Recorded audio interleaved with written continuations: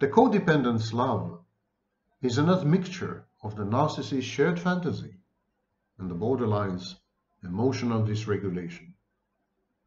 Here's another autobiographical story about my maternal grandfather and my maternal grandmother. The story of a codependent's love. My grandfather, cradling an infant's crib, departed. Navigating left and right, far along the pavement, he reached a concrete round post.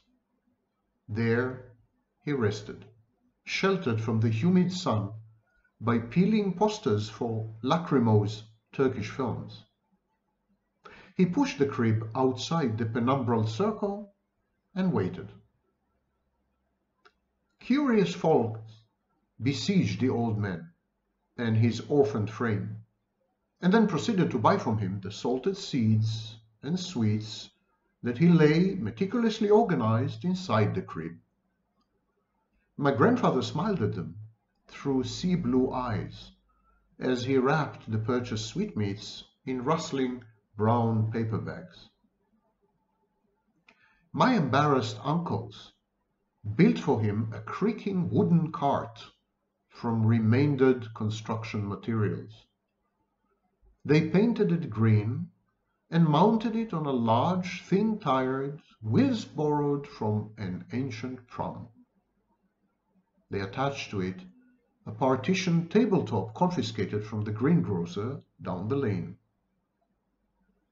Every morning, forehead wrinkled, my grandfather would fill the wooden compartments with various snacks and trinkets, at pains to separate them neatly.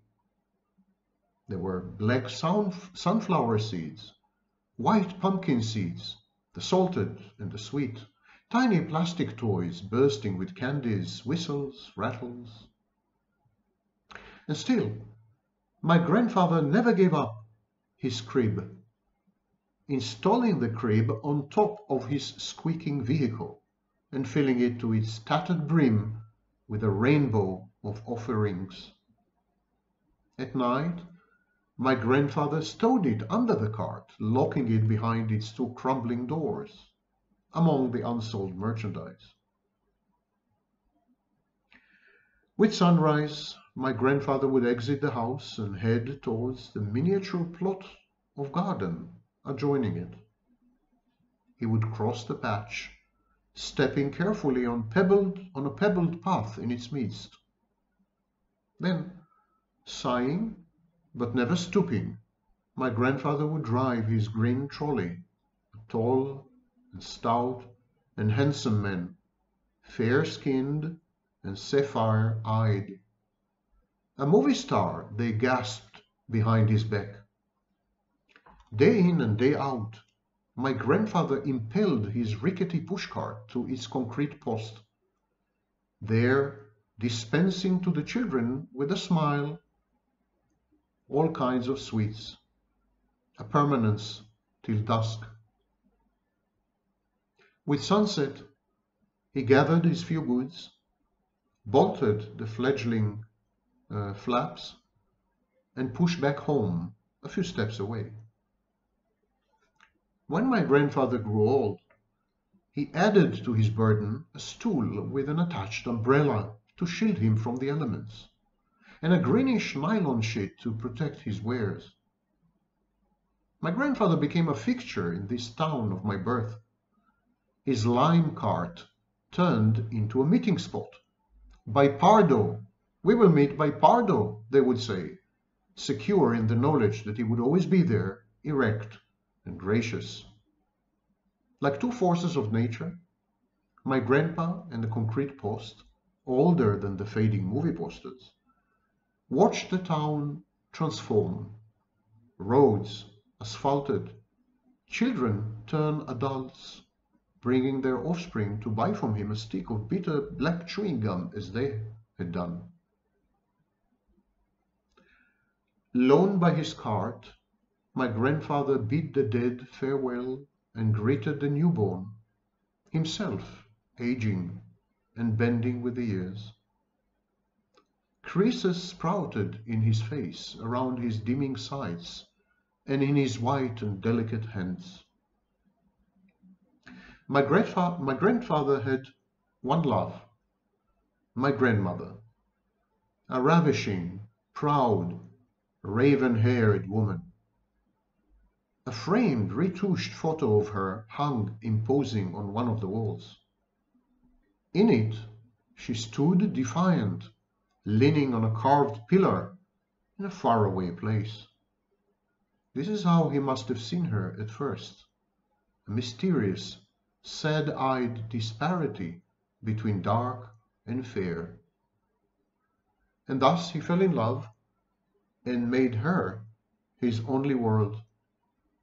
This woman sat by his side, adjacent to his azure pushcart, day in and day out.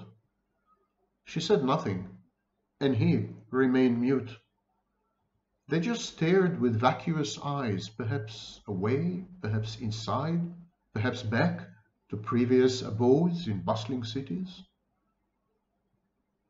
At first my grandmother seemed to like being his sidekick, confidently doling confectionery to toddlers whose mothers remained forever infants in her memory. Intermittently, she laid a shriveled hand on his venous, Venus knee, leaving it there for a split, fluttering second, conveying warmth, and then withdrawing it unobtrusively. It was enough to restore him to his full stature, this touch. But then the municipal workers came and pasted funeral announcements onto his concrete pole, and the magic was all but gone. My grandma withered dilapidated by this onerous existence. Evening time she would get up and carry her stool afore, clenched in two twiggy hands, tediously dragging her reluctant self on the long march home. My grandfather observed her, his eyes a moist, eroding guilt.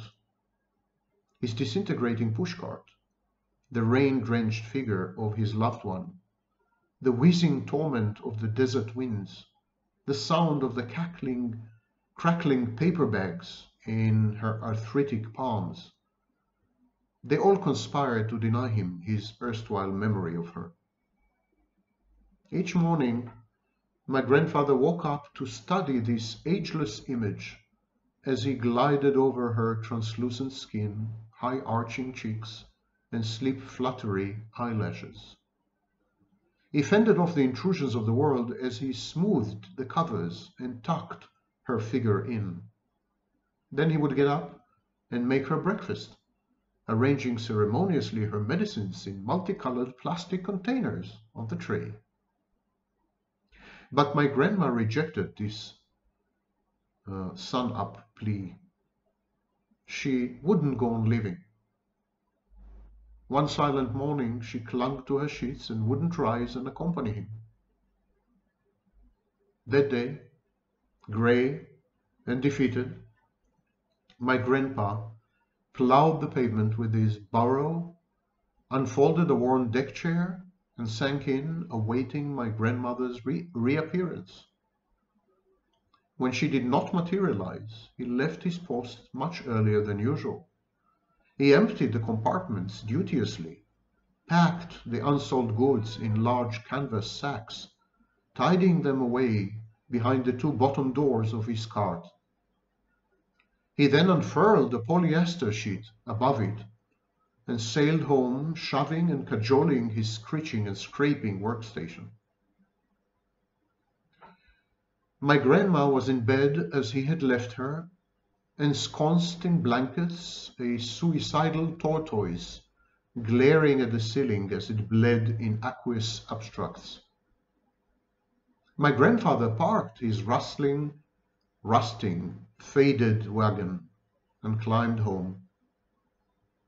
His wife awoke with startled whimpers, tears streaming silently down her creviced face, tearing his heart with the iron grip of festering love. He hugged her and showered her with panicky little kisses.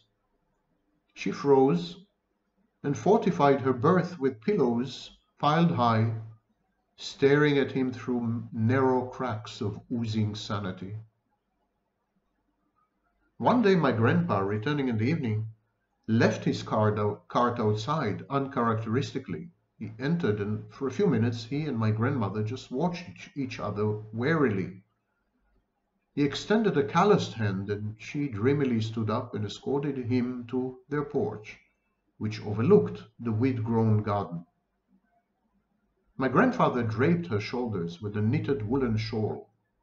He tightened it, and then, her shivering hand in his, he set his love among some cushions he prepared. She glanced aimlessly at a guava tree that shot among the trail of gravel stones. My grandfather contemplated her a while and then, with sudden resoluteness, left. Seconds later he reappeared among the shrubs, saluted her with a sledgehammer he held tenuously with both hands. She strained her face, attentive, consuming his image like a flower would the sun, or the blind do the sounds. Gasping and panting, my grandpa heaved the pushcart to the center of the plot. With repeated furious blows, he dislocated its wheels and doors, reduced to splintered wood and twisted metal, he cocooned it in the nylon throw and left it devastated by the trees. Sitting beside, they watched the setting sun diffracted from the green-hued sculpture in the garden. A smile budded in my grandma's honeyed eyes and spread into my grandfather's deep blue gaze. The cart stood there for years, disintegrating inexorably beneath its blackening shield. Its wheels, now rooted in the soil, it sank into the mildewed ground, another peculiarly shaped, shaped sapling. My grandpa never adjusted the synthetic sheet that swathed it, nor did he dig out the bargaining wheels. My grandpa was visiting a pharmacy, replenishing my grandmother's medications when my grandma died. With the dignity of the indigent, he never bargained, never raised his voice. Packed in small white paper bags, he rushed the doses to his wife, limping and winded.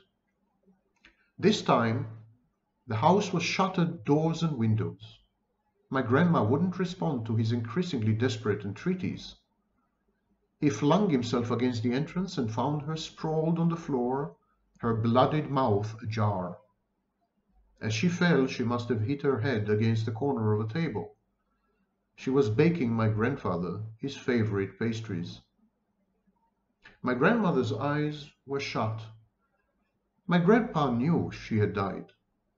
He placed her remedies on the floored, floured and oiled table and changed into his best attire, his best suit.